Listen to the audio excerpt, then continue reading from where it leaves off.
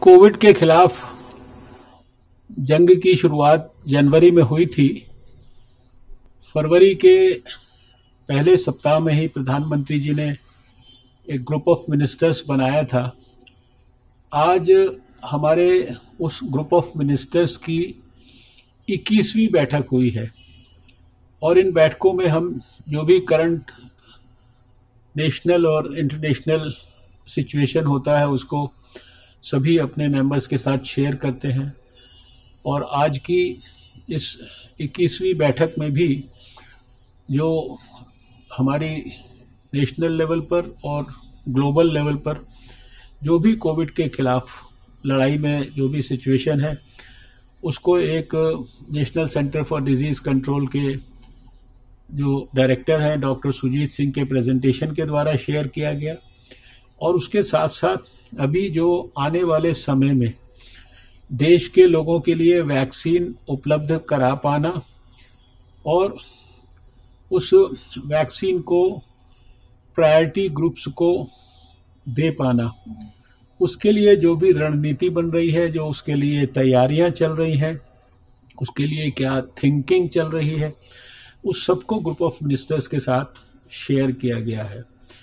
हम सब जानते हैं कि अभी आज शायद चौदवा लगातार दिन है, जब हमारे एक्टिव केसेस की संख्या ये एक मिलियन से लगातार कम है। और पिछले पाँच छः दिन से देखें तो और भी ज़्यादा जो है एक लेवल से कम है। हमारा दुनिया में सबसे ज़्यादा रिकवरी रेट लगभग 87 प्रतिशत के आसपास पहुँच रहा है। हमारा फर्टैलिटी रेट दुनिया में सबसे कम 1.53 एक पॉइंट तिरपन प्रतिशत के करीब है। अभी भी हम एक मिलियन से ज़्यादा रोज़ टेस्ट कर रहे हैं। उन्नीस लेबॉर्ट्रीज हमने देश भर में क्रिएट कर दी हैं। लाखों की तादाद में सब प्रकार के बेड्स देश में क्रिएट हो गए हैं। क्वारंटाइन सेंटर्स क्रिएट हो गए हैं। पर्याप्त मात्रा में N ninety five mask ventilators और पीपी किट्स सारे देश को दे दिए गए हैं। वैक्सीन्स के संदर्भ में भी हम देख रहे हैं कि इस समय जबकि दुनिया में लगभग 200 वैक्सीन कैंडिडेट्स काम कर रहे हैं। इन 200 वैक्सीन कैंडिडेट्स में लगभग एक सौ इक्यावन कैंडिडेट्स प्री क्लिनिकल फ़ेज़ में है। प्री क्लिनिकल ट्रायल्स के फ़ेज़ में है। लगभग 40-42 के करीब ये क्लिनिकल ट्रायल्स के फ़ेज़ में है। अगर हम इन सब में पूरे दुनिया में गिनती करें तो नौ वैक्सीन कैंडिडेट्स ऐसे हैं जो कि क्लिनिकल ट्रायल्स के फ़ेज़ टू और फ़ेज़ थ्री में है, यानी स्लाइटली एडवांस्ड स्टेजेस में है। इन दुनिया के नौ वैक्सीन कैंडिडेट्स में से तीन भारत के अंदर है और वो तीन भारत में जो है, उनमें से एक फ़ेज़ थ्री के अंदर जा चुका है और दो फ़ेज़ टू के एडवांस स्टेजेस में है। इन सब के आधार पर हमारे को ये उम्मीद है कि जैसे नया वर्ष प्रारंभ होगा, उसके बाद कभी भी हमारे को ये वैक्सीन्स जो हैं, ये देश में मिलने की संभावना है।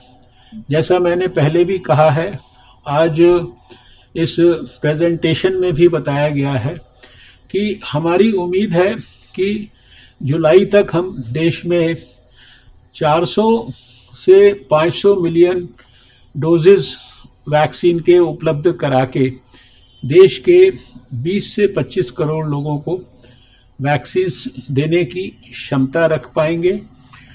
उस क्षमता के अनुरूप, संभावित क्षमता के अनुरूप जो जो तैयारियाँ करनी है किन किन लोगों को किन किन सेक्शंस को सोसाइटी के प्रायोरिटाइज करना है। और वो भी सब कुछ साइंटिफिक दृष्टि से। उसके लिए सारे वर्ल्ड का जो स्ट्रैटेजी है, उसको चाहे वो centre for disease control US हो चाहे वो विश्व स्वास्थ्य संगठन हो उसको अध्ययन किया जा रहा है। उसके लिए डिजिटल प्लेटफॉर्म्स को जो है उसके वैक्सीन के डिलीवरी के हिसाब से तैयार किया जा रहा है ई विन प्लेटफॉर्म जो है।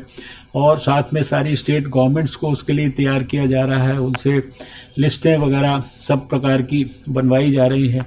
और हमारे को इसके लिए जो जो कुछ तैयारी करनी है जो कोल्ड चेन का इक्विपमेंट है, दूसरी जो नॉन वैक्सीन इक्विपमेंट्स हैं, कोई सिंजेस हैं, दूसरी चीज़ें, यानी हर स्तर पर बहुत विस्तार से तैयारियाँ हो रही हैं।